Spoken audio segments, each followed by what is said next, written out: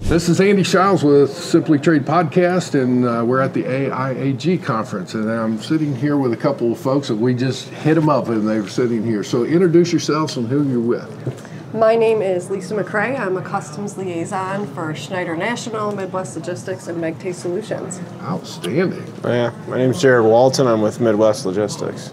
So where are y'all based out of? We're out of- Detroit local. Both- Yeah, both- yeah, both Metro? Detroit area. Excellent, excellent. So why AIAG? Why- Because we only specialize in automotive. All the carriers that we work with, Hmm. we are like 90% automotive freight. Oh, outstanding, Mm-hmm. outstanding. Uh, anything in particular you're looking forward to hearing about? Customs changes, that's mostly what we're interested Yeah, in, tariffs. Uh, it may be a little early yet too. Yeah. I think things are. And mixing figure a way Forced to- labor, you know, Yeah, has changed figure- recently, keeping up with all the regulations. If there is any changes, I feel like it'll be you know six months to a year before you see anything noticeable.